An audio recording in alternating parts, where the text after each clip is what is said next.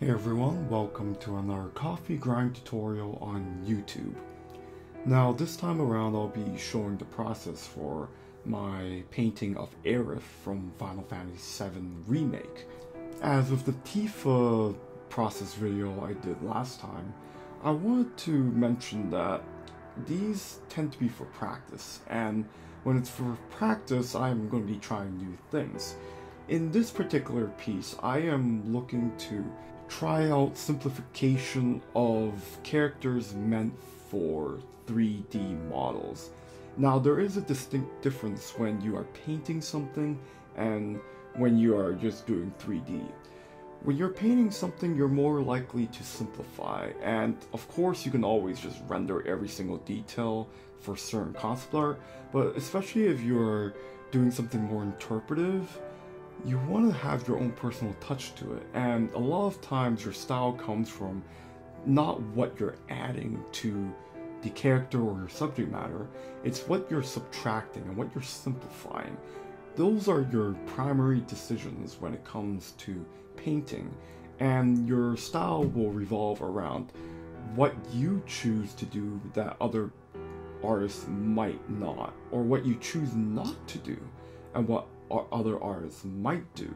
So those sort of things I will be playing around with with this piece.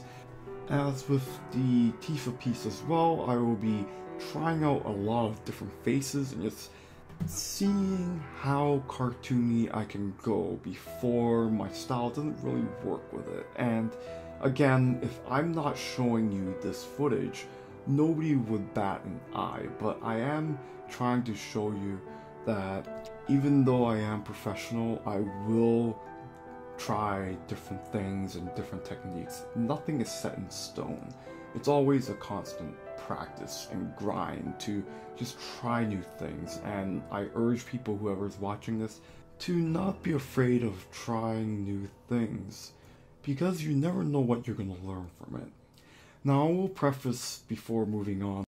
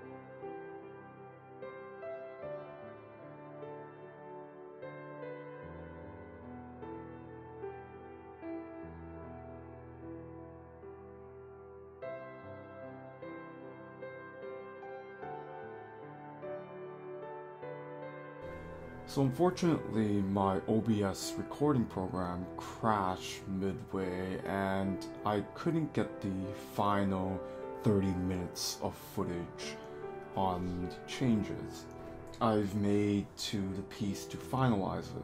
So I'll describe the most significant ones here. So first and foremost, I changed the proportions of her face so that she's still stylized but not so much. She was starting to look a little bit too cartoony, and there are degrees of anime where you could go from something like Studio Trigger, really cartoonish, to something more realistic in the realm of Persona, even though they're both very stylized.